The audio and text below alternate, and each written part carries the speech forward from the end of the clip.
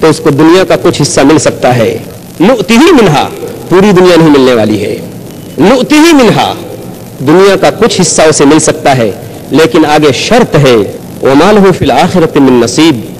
इस शर्त के साथ कि आखिरत में ऐसे शख्स का कोई हिस्सा नहीं, कोई नसीब नहीं, आखिरत में उसको कुछ भी नहीं मिलने वाला है।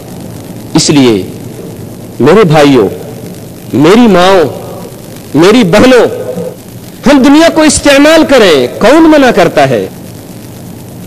हम दुनिया को बरते कौन रोकता है? दुनिया की ऐश इशरत की चीज़ें हम इस्तेमाल करें, किसने आपको टोका है? दुनिया की राहत की चीज़ें हम अपने काम में लाएँ, कुरान कब मना करता है? शरीयत कब टोकती है? बेशक, ये सारी चीज़ें अल्लाह तबारक व ने दुनिया की हमारे और आपके लिए बनाई हैं। लेकिन जैसा कि मैंने अर्ज़ किया कि हर मुसलमान दुनिया की इस्तेमाल करने वाली चीज़ों को इस्तेमाल अल्लाह को खुश करने के लिए, आखिरत की तैयारी के लिए करे तो यही चीज़ें उसके लिए कामयाबी का, कामरानी का सुर्ख रोई का और फौज फलाह का ज़रिया बन जाती हैं। लेकिन अगर उसका कदम डगमगा गया, उसका कदम फिसल गया और उसने ये समझ लिया कि ये दुनिया ही सब कुछ है तो फिर तबाही तो फिर बर्बादी तो फिर हलाकत, उसका मुकद्दर बन चुकी है। दुनिया की एक हकीकत सामने आने के बाद अब हमें सोचना है कि दुनिया के बाद एक दूसरी भी चीज़ है, जिसका नाम आखिरत है, और उसकी तैयारी हमें इसी दुनिया में करनी है। मौत आने से पहले करनी है तो वो मौत क्या है, उसकी भी हकीकत हम समझें। उसकी हकीकत क्या है? मौत ऐसी यकीनी चीज़ कि इसके बारे में किसी का इख्तलाफ नहीं। दुनिया की बहुत सारी चीज़ों में लोगों ने इख्तलाफ किया, हत्या के कहने वालों ने कह दिया कि हम अल्लाह को नहीं मानते, बल्कि लोगों ने खुदाई का दावा भी कर दिया कि हम खुदा हैं, हम मबूद हैं, हम रब हैं। लेकिन आज तक कायनात के अंदर कोई शख्स ये थ्योरी पेश करने वाला, ये नज़रिया पेश करने वाला पैदा नहीं हुआ। कि मौत हमको नहीं आएगी। और अगर किसी ने अपने दीवानापन की वजह से इसका ऐलान भी कर दिया हो कि मुझे मौत नहीं आएगी तो ऐसा हुआ नहीं कि उसको मौत ना आई हो। ऐसा नहीं हुआ। बड़े से बड़ा मुलहिद, बड़े से बड़ा एथियस्ट, बड़े से बड़ा बेदीन, उसको हर चीज़ में इख्तलाफ हो सकता है, या बहुत सारी चीज़ों में इख्तलाफ हो सकता है, लेकिन एक चीज़ ऐसी है, यानी मौत, उसके बारे में इख्तलाफ नहीं। अल्लाह फरमाता है सूर्य आल इमरान सूर्य नंबर तीन, आयत नंबर एक सौ पचासी के अंदर, कुल्ल नफ्सिन जायकतुल मौत, हर इंसान को, हर जानदार को मौत से दो चार होना है। मौत का मज़ा चखना है। और दूसरी जगह सूर्य कसस सूर्य नंबर 28 आयत नंबर 88 के अंदर अल्लाह ताला साफ़ साफ़ फरमाता है, कुल्लु शैन हालिकुन इल्ला वजहा, अल्लाह के अलावा हर चीज़ हलाक होने वाली है फना होने वाली है और खत्म होने वाली है। बड़े से बड़ा मुलहिद, बड़े से बड़ा एथियस्ट, बड़े से बड़ा बेदीन, उसको हर चीज़ में इख्तलाफ हो सकता है, या बहुत सारी चीज़ों में इख्तलाफ हो सकता है, लेकिन एक चीज़ ऐसी है, यानी मौत, उसके बारे में इख्तलाफ नहीं। अल्लाह फरमाता है सूर्य आल इमरान सूर्य नंबर तीन, आयत नंबर एक सौ पचासी के अंदर, कुल्लु नफ्सिन जायकतुल मौत, हर इंसान को, हर जानदार को मौत से दो चार होना है। मौत का मज़ा चखना है। और दूसरी जगह सूर्य कसस सूर्य नंबर 28 आयत नंबर 88 के अंदर अल्लाह ताला साफ़ साफ़ फरमाता है इल्ला वजहा, अल्लाह के अलावा हर चीज़ हलाक होने वाली है, फना होने वाली है और खत्म होने वाली है। जिस तरीके से मौत यकीनी है, उसी तरह से हर शख्स ये भी जानता है कि मौत के वक्त का किसी को पता नहीं, कि कब मौत आएगी। साइंस तरक्की कर गई इंसान चाँद पर पहुँच गया, लेकिन साइंस और उसकी इजादात और उसकी तरक्यात और उसके इन्वेंशंस ये सारी चीज़ें आज भी बेबस हैं इस बात को बताने से कि मौत का वक्त बता दे कि मौत कब आएगी। किसी को नहीं मालूम। आगाह अपनी मौत से कोई बशर नहीं। सामा है सौ बरस का पल की खबर नहीं। कोई नहीं बता सकता। जिस तरीके से मौत यकीनी है और जिस तरीके से यह बात यकीनी है कि मौत का कोई वक्त फिक्स नहीं है, कोई वक्त मुतन नहीं है।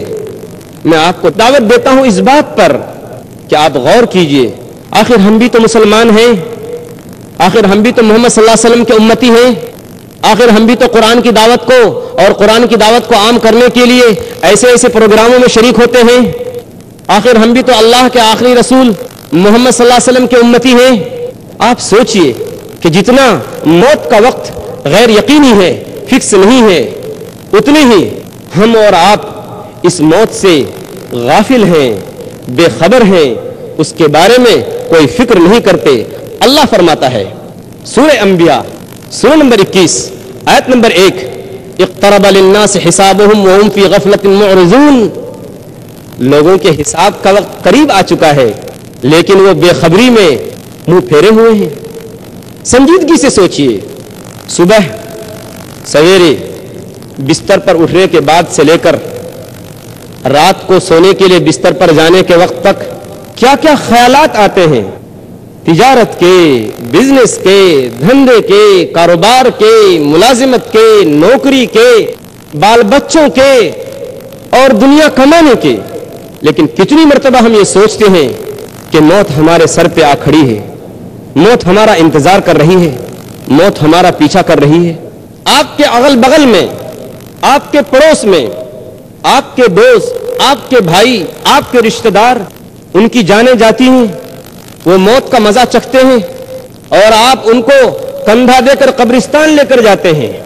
लेकिन तो भी कितनी मरतबा, आप ये सोचते हैं कि मुझे भी एक दिन अपने दोस्त की तरह, अपने भाई की तरह, अपने रिश्तेदार की तरह मौत के घाट उतरना है।